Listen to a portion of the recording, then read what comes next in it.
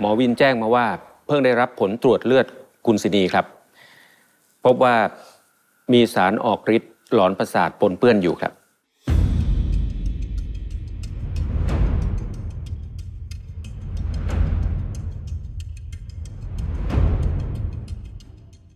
พวกแกมองฉันทำไมอะฮะ คิดว่าฉันเป็นคนวางยาคุณนีเหรอ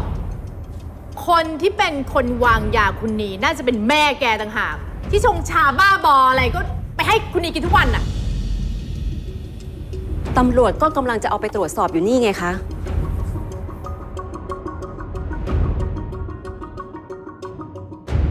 แน่ใจเหรอ ว่าเอาชาที่ชงให้คุณนีกินจริงๆอะไม่ใช่แอปเนียนเอาชาอื่นไปให้ตำรวจตรวจนะเอาเป็นว่า การตรวจพิสูจน์ศพของคุณสินี รวมถึงการตรวจยาและสารพิษในร่างกายเนี่ย น่าจะได้ผลภายในหนึ่งสัปดาห์นะครับ แล้วถ้าสารพิษในร่างกายคุณนีมาจากชาสมุนไพรจริงๆอะคณาก็เข้าข่ายผู้ต้องสงสัยสิคะ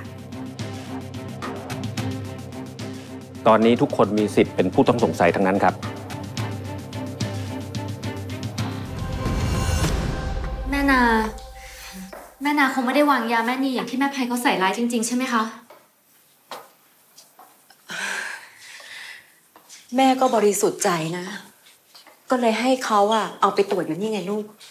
ถ้าแม่ทำจริง ๆ ก็คงไม่มีตัวอย่างชาให้เขาเก็บเอาไปตรวจหรอก แต่แม่นาก็อาจจะสลับชายอย่างที่แม่ภัยเขาว่าจริง ๆ ก็ได้นี่คะ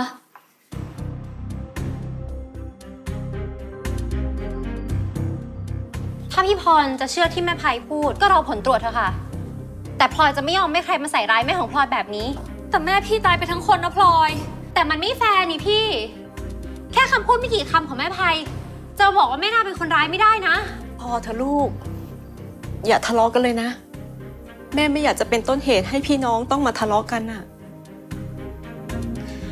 แต่แม่ ถ้าหนูพรจะเชื่อแบบนั้น ต่อให้แม่พูดยังไงหนูก็คงจะไม่เชื่อ แต่แม่ก็เสียใจนะ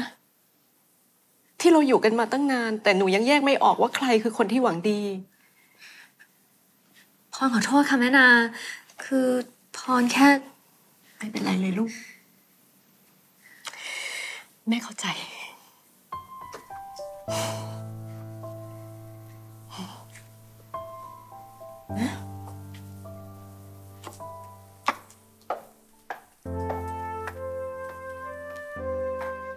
พลอย พี่ขอโทษนะ พี่ผิดที่หูเบาเองอะอืมไม่เป็นไรหรอกพี่พล อยก็ขอโทษพี่นะเมื่อกี้พลอยก็พูดแรงไป อย่าโกรธพี่เลยนะ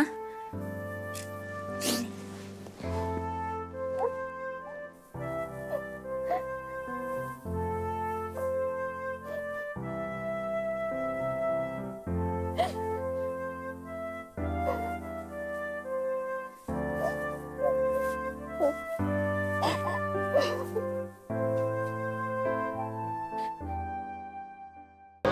จริงเธอไม่เคยผูกพัน แท้จริงเธอมันใจร้